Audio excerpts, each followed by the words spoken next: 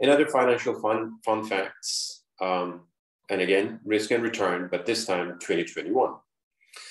We are using data from Yahoo Finance, and I'm using Stata as the econometric software, and the study is intended as financial fun facts, so um, there could be little errors. And uh, we're using the index Dow 30, and the year is 2021.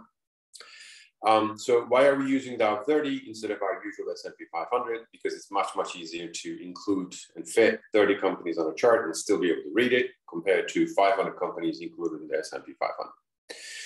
The, uh, even though I download the daily prices from Yahoo Finance, the source of the list of companies included in the Dow 30 uh, are actually, uh, or is the CNBC. And these are the companies that are included in the Dow 30.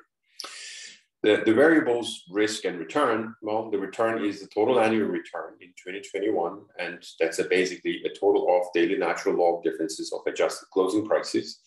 And then the risk is the standard deviation of these daily log difference of adjusted closing prices.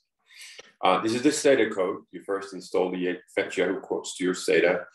Um, and then that's the um, downloading the data. And then we calculate the total return. Notice the collapse sum. So it's the total return for 2021.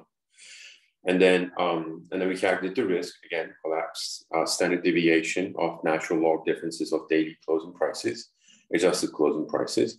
And the second page, we append these temporary files, reshape it, clean up, and then draw the chart. And the chart looks um, like this. On the vertical, you have the return. On the horizontal, you have the risk.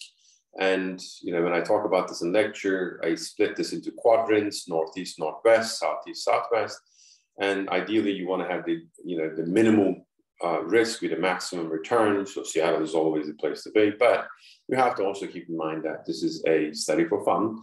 And the idea is to just to use data. And um, so thank you for watching. Bye now.